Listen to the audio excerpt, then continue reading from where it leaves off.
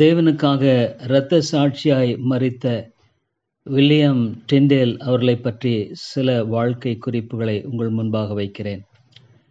William Tyndale ஆயிரத்தி நானூற்று தொண்ணூற்றி ஐந்தாவது ஆண்டில் வேல்ஸ் நாட்டு பார்டர் அந்த பகுதியில் அவர் பிறந்தவர். அவர் பிறந்த ஊர் குளுக்கோஸ்டைரட் ஸ்டர்சைட் என்ற ஒரு இடத்துல அவர் அவ்விதமாக பிறந்து வளர்ந்தார். அதன் பின்பாக ஆக்ஸ்போர்ட் படித்தார். கடைசியாக கேம்பிரிட்ஜில் போய் படித்தார். அவர் ஆயிரத்தி ஐநூற்று இருபத்தி ஒன்றாவது ஆண்டு ஊழியத்துக்கென்று அவர்தாமே அங்கு பிரதிஷ்டை பண்ணப்பட்டார். இவ்விதமாக அந்த ஆரம்ப நாட்களிலேயே தேவனுடைய வார்த்தையை தெளிவாய் போதித்து மகா பெரிய ஒரு வாஞ்சை கொண்டிருந்தார். அதாவது அந்த நாட்களில் வேதாகமானது லத்தீன் மொழியில் இருந்தது. அப்பொழுது தன்னுடைய மக்கள் ஆங்கிலத்தில் வேதாகமத்தை கற்றுக்கொள்ள வேண்டுமென்றும் அந்த ஒரு தீராத வாஞ்சியோடு கூட அவருடைய வாழ்க்கையில் ஆரம்பத்திலிருந்து அவர் தேவனுக்கென்று உழைத்தார்.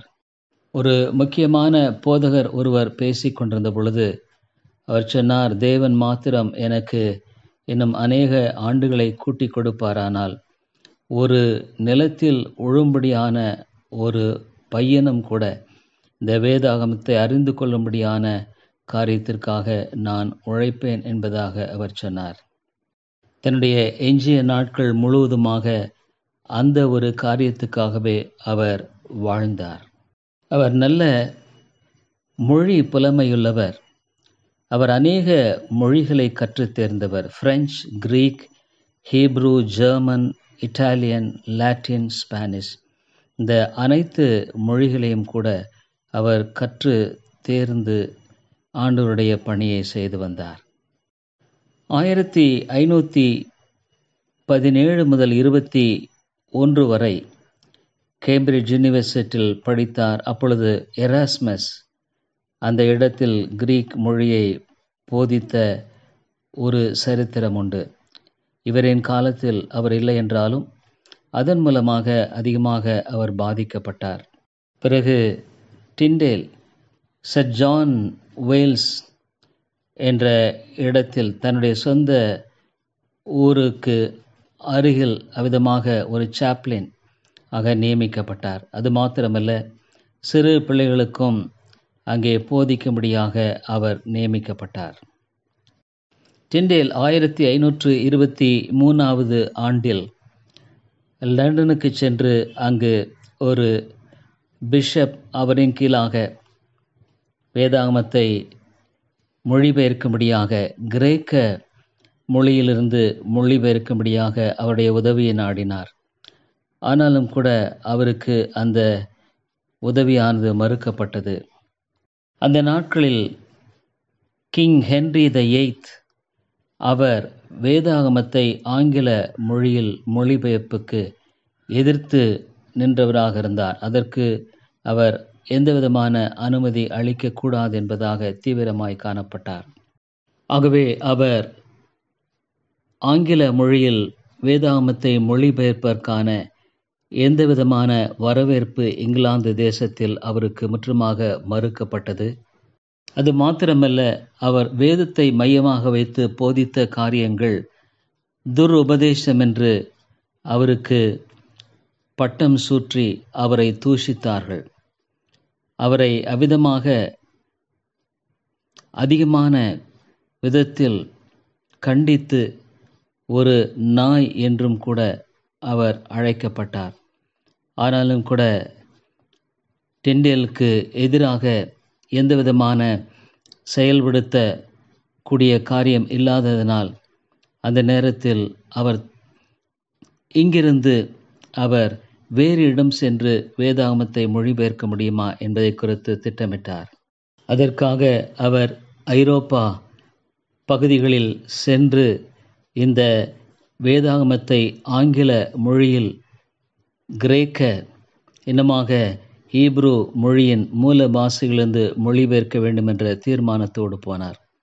மார்ட்டின் லூத்தரை ஆயிரத்தி ஐநூற்று இருபத்தி ஐந்தாவது ஆண்டு சந்தித்தார். ஒரு பட்டணத்திலிருந்து இன்னொரு பட்டணம் அங்கு ஓடி மறைய வேண்டியதாக இருந்தது. ஒரு பக்கம் வறுமை இன்னொரு பக்கம் உபத்திரவம். அடுத்த பக்கம் தொடர்ந்து அவருக்கு ஆபத்து நீடித்து கொண்டே இருந்தது.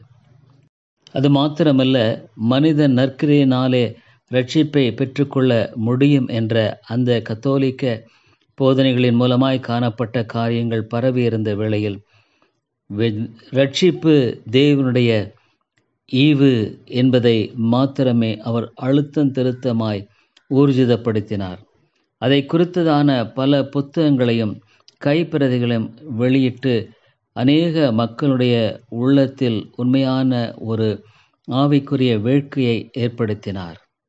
ஆயிரத்தி ஐநூற்று இருபத்தி ஐந்தில் புதிய ஏற்பாடு மொழிபெயர்க்கப்பட்டு ஜெர்மனில் வாம்ஸ் என்ற இடத்தில் அங்கு அவர்தாமே அதை முடித்தார். அதற்கு பின்பாக இங்கிலாந்துக்கு பதினெட்டாயிரம் காப்பிகள் பிரதிகளை கொண்டு சென்ற வேளையில் கடைசியாக ரெண்டே ரெண்டு பிரதிகள் மாத்திரமே மீந்தது. இவைகளில் அநேகம் எரிக்கப்பட்டன. அநேக பிரதிகள் முற்றமாக அழிக்கப்பட்டன.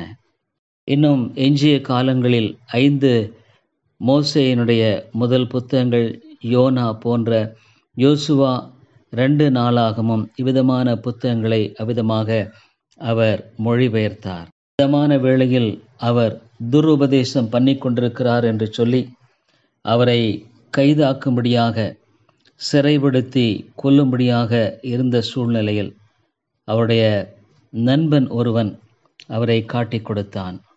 ஆயிரத்தி ஐநூற்று இருபத்தி எட்டாவது ஆண்டில் அவர் the obedience of a Christian man என்ற புத்தகத்தில் அந்த நாட்களில் சபைகளில் காணப்பட்ட வேதத்துக்கு புறம்பான காரியங்களை குறித்தும் மூட நம்பிக்கை குறித்தும் எடுத்து பேசினார்.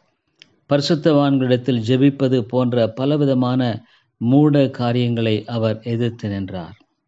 அவரை மேலுமாக ஹெல் பவுண்ட் டெவல் என்று அழைக்கப்பட்டார்.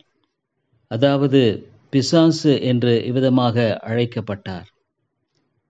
அவர் எழுதின வேதாகமத்தை குறித்து சொன்ன பொழுது அவர் இவ்விதமாக கிறிஸ்துவின் புதிய ஏற்பாடல்ல இது அந்தி கிறிஸ்துவின் புத்தகம் என்று அழைக்கப்பட்டது.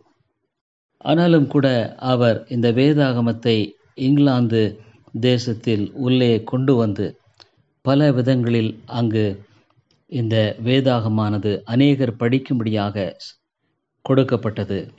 வில்லியம் டெண்டேல் ஜான் விக்லிஃப் அவரை பின்பற்றின லாலார்ட்ஸ் என்ற மனிதனுடைய போதையினாலே பாதிக்கப்பட்டே விதமான ஒரு தேவ மனிதனாக மாறினார்.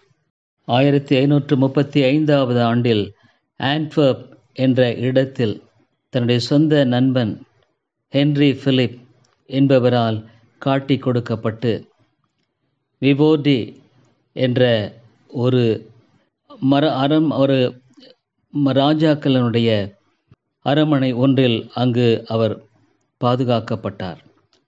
விதமான வேளையில் தாமஸ் கிராம்வெல் என்பவர் கூட அவருடைய விடுதலைக்காக அதிகமாக பிரயாசப்பட்டார். ஆனால் முடியவில்லை. கடைசியாக வில்லியம் டெண்டேல் அவரை கழுத்து நெறித்து அங்கு தூக்கு மரத்தில் கட்டப்பட்டு அவரை எரித்து கொன்றார்கள்.